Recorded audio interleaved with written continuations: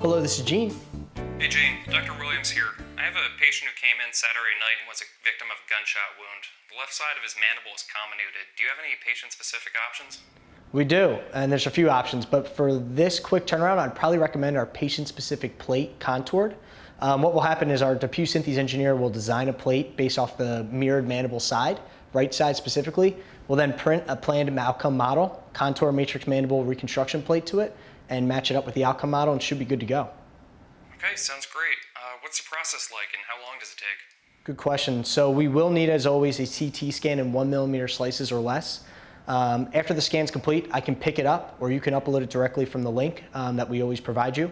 You can also incorporate any preferences that you have to the, whether we need to contralateral mirror the mandible, the contralateral side, or you can say make an osteotomy here, whatever it may be that our engineer can design around.